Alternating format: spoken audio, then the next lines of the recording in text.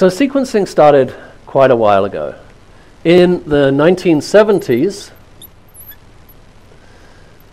a professor called Fred Sanger, who is really quite a remarkable man. He's one of only two people that have won two Nobel Prizes for two different discoveries, which is a pretty amazing feat. I mean, it's an amazing feat to win one, but to win two is, is phenomenal. Um, and so Fred Sanger invented um, a way of doing DNA sequencing, which is called di-deoxy chain. And the basis behind dideoxy chain termination is that in normal DNA, you have nucleotides. So you have, for example, DATP, DTTP, DCTP, and DGTP. And these are deoxynucleotides.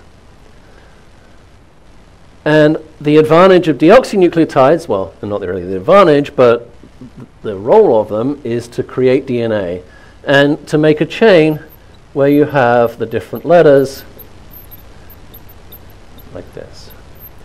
And the sequences are joined in part by this deoxy group here. So as you add a new base, if we added a DCTP, it would come in here as a C using this deoxy part of it.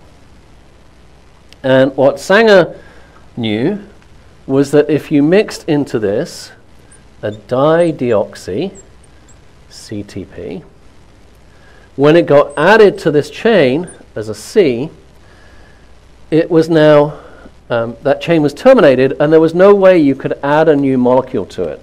So if you tried to add something, so if we tried to add, for example, a DATP, it's blocked because of the second deoxy part of the ribose molecule. So the idea with chain termination is that you mix together your normal DNTPs that you need to synthesize DNA, and you mix in a small amount of the dideoxy NTPs that cause the chain to stop growing. Okay? And so as you replicate the DNA, sometimes as we're coming along,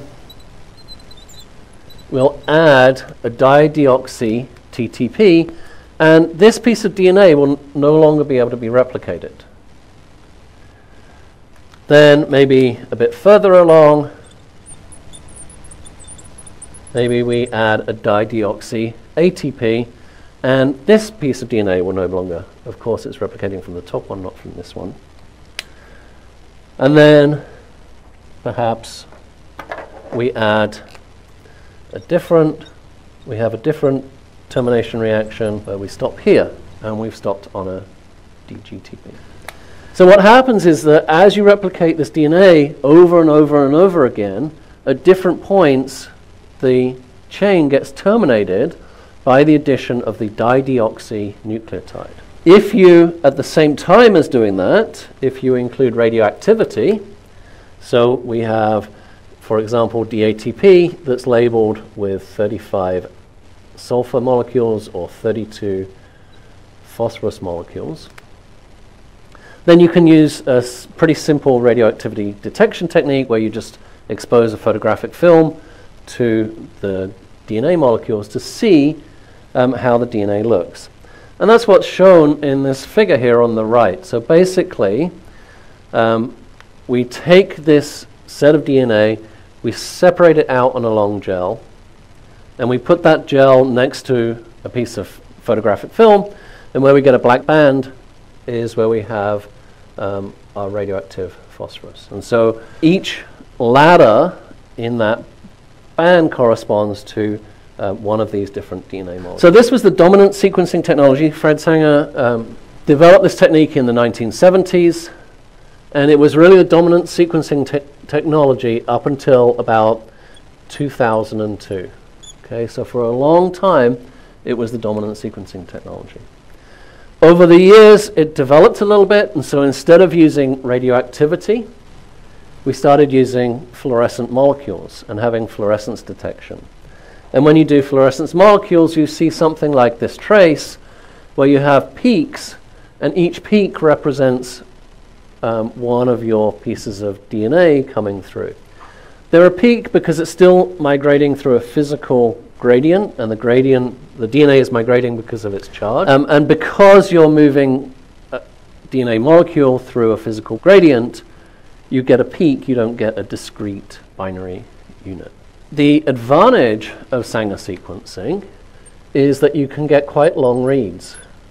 And so typically you'll get about a kilobase, a bit less, maybe 800 bases. I think this particular read I'm showing is about 800 bases. Um, and you get quite high accuracy.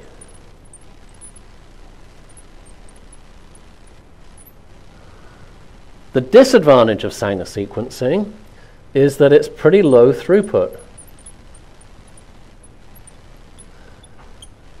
And so you can do 394 sequences at once. 394 sounds like a lot, but as we'll see with the newer sequencing technologies, you can get many millions of sequences or billions of sequences at once. It's still in use. We still do Sanger sequencing, and in fact, this trace that I'm showing you is one that we created over the summer um, because we're interested in sequencing a very small region of DNA.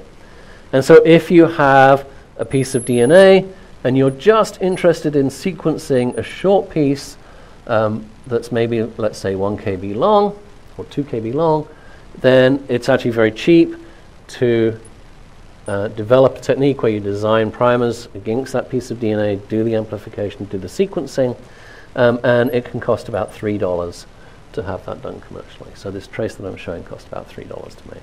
So it's pretty cheap.